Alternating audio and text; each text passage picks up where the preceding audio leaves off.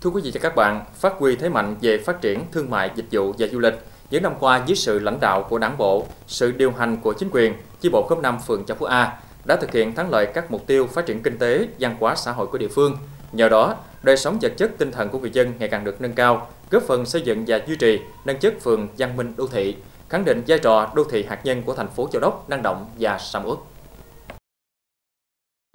Hiện chi bộ khóm 5 có 95 đảng viên, trong đó 38 đảng viên chính thức, 57 đảng viên sinh hoạt nơi cư trú. Nhiệm kỳ 2022-2025, chi bộ khóm 5 đã tập trung lãnh đạo triển khai, thực hiện đạt và dược 18 trên 19 chỉ tiêu, nghị quyết đại hội đề ra. Cán bộ đảng viên tin tưởng vào sự lãnh đạo của cấp quỹ, nhân dân chung sức đồng thuận thực hiện tốt các chủ trương, chính sách của đảng, pháp luật của nhà nước, gắn với các cuộc vận động phong trào thi đua yêu nước ở địa phương.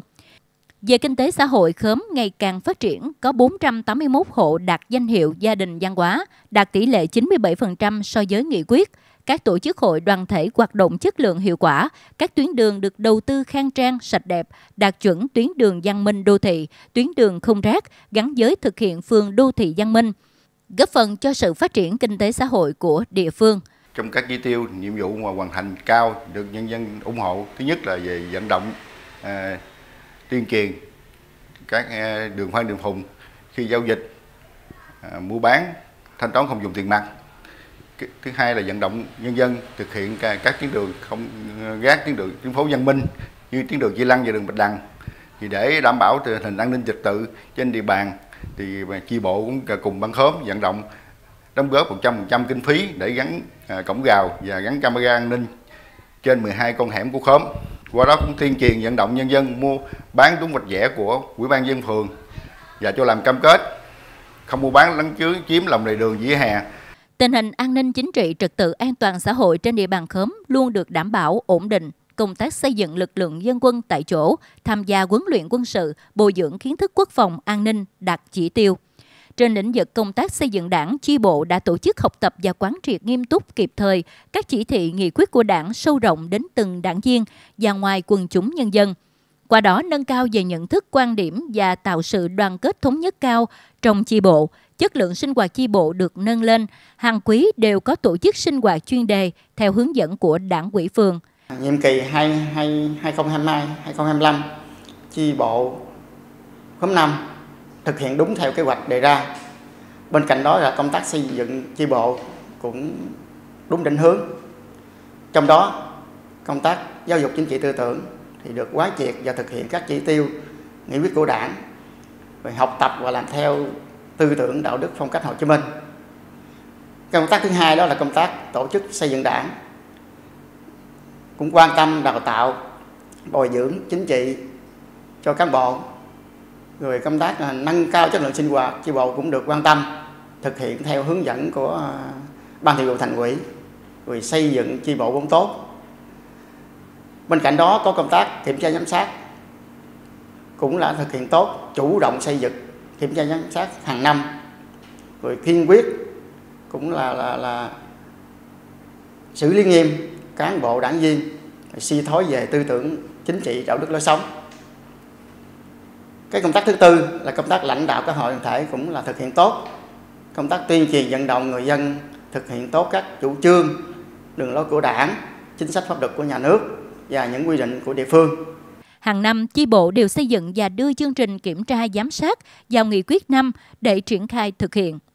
Trong nhiệm kỳ đã thực hiện giám sát thường xuyên đối với tất cả đảng viên của chi bộ trong thực hiện nhiệm vụ đảng viên về phẩm chất đạo đức, lối sống, đã kiểm tra chấp hành 100% đảng viên. Kết quả đánh giá phân loại tổ chức đảng và đảng viên hàng năm, chi bộ đều đạt danh hiệu trong sạch vững mạnh. Năm 2023, chi bộ khóm 5 được công nhận chi bộ hoàn thành xuất sắc nhiệm vụ 5 năm liền từ năm 2018 đến năm 2022.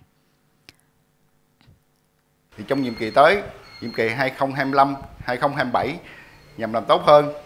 thì về quan điểm, mục tiêu, định hướng của chi bộ thì tiếp tục nâng cao năng lực lãnh đạo của sức chiến đấu của chi bộ, phát huy dân chủ, sức mạnh đại đoàn kết toàn dân tộc, làm tốt công tác vận động quần chúng, à, tạo sự đồng thuận của nhân dân trong à, thực hiện cái nhiệm vụ ở chính trị ở địa phương, nâng cao hiệu lực hiệu quả hoạt động à, của băng khóm tập trung à, phát triển kinh tế và cho đời sống vật chất tinh thần của người dân. Thực hiện tốt việc à, à, quốc phòng an ninh và trật tự an toàn xã hội tại địa phương. Thì à, chi bộ đã đề ra 16 chỉ tiêu. Thì trong đó thì thực hiện à, tốt cái thu thuế đất phi nông nghiệp đạt trên là 85%, thu quỹ phòng chống thiên tai à, trên 60 60%, quy động các học sinh ra lớp theo độ tuổi vào các bậc học là 100%, tỷ lệ trẻ em à, suy dinh dưỡng dưới 5 tuổi là dưới 10,2% thì cũng ờ, đăng ký là khóm không còn à, hộ nghèo hộ sử dụng điện nước thì đạt 100% tỷ, tỷ lệ tham gia bảo hiểm y tế tự nguyện đạt 95% xây dựng lực lượng cũng là ờ, đạt chi chỉ tiêu. Đối với phong trào toàn dân xây dựng đời sống văn hóa à, ở khu dân cư thì không cũng đăng ký hai nội dung thì gia đình văn hóa đạt chuẩn là trên 97% so với à, dân số của khóm thì duy trì khóm đặc chuẩn khóm văn hóa hàng năm. Chỉ tiêu ờ, chỉ tiêu xây dựng đảng, thì đối với ờ, ờ, nhiệm kỳ, thì khóm cũng đăng ký là vận động một quần chúng và để cho đảng xem xét. Chi bộ cũng đăng ký hàng năm là chi bộ hoàn thành tốt nhiệm vụ